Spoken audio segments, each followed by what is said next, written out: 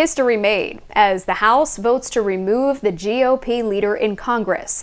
Now, this was a motion forced by rebel Republicans who were outraged that House Speaker Kevin McCarthy made a deal with Democrats to avoid a government shutdown. Rebecca Castor has the latest from Washington.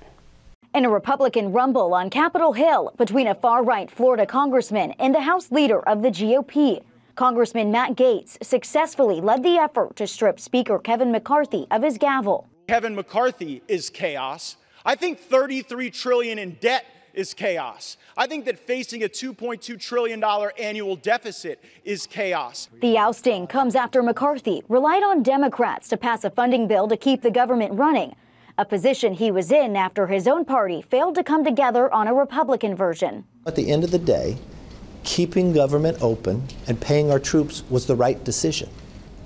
I stand by that decision. And at the end of the day, if I have to lose my job over it, so be it. House Democrats were strongly encouraged to vote against McCarthy. The Republicans are in the middle of a civil war that is causing chaos, dysfunction, and extremism.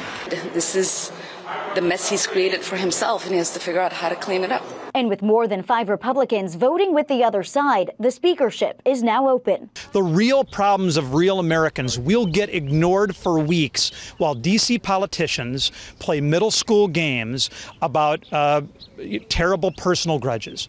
Matt Gaetz needs to quit being a chaos agent. The U.S. House has never successfully voted to remove a speaker, and the only other time a vote like this was held was in 1910.